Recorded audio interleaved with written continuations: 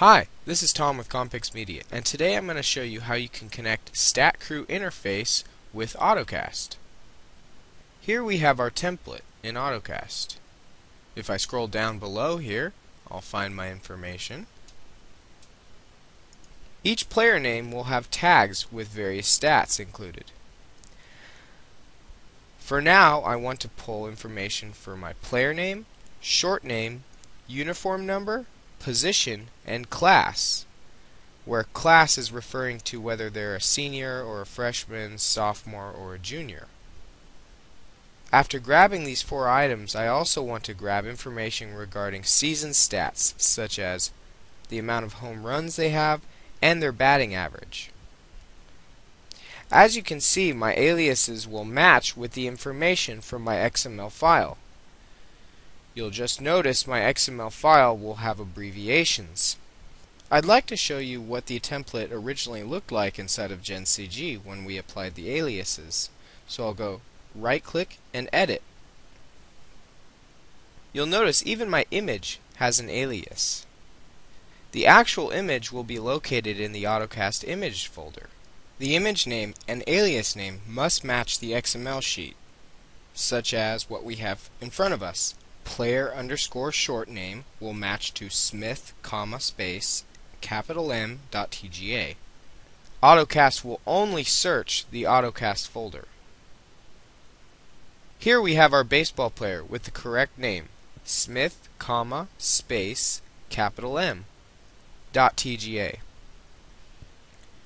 Now I'll make sure my template is chosen, then click Watch. Then I'll select Browse and choose my StatCrew XML.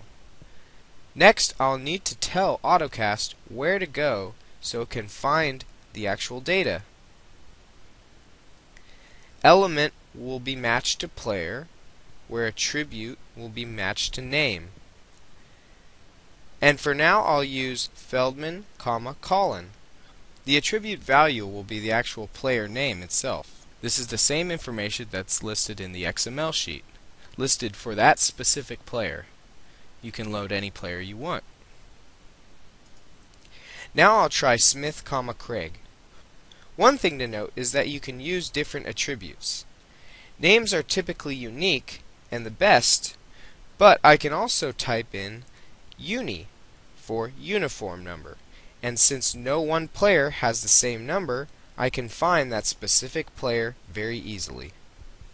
I put number 4, which is Smith, comma M, and after pressing OK, you can see we have all of the correct information displayed. Now all we need to do is select Add to add it to my playlist, and then I'll press Start AutoCast to begin.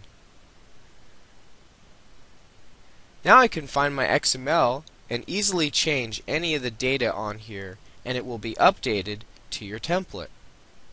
I'll change the batting average from .282 to .382 and once saved your template will automatically update.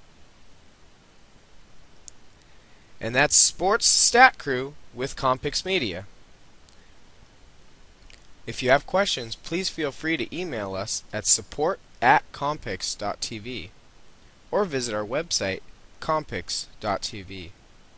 For sales inquiries, please give us a call at 949 585 0055.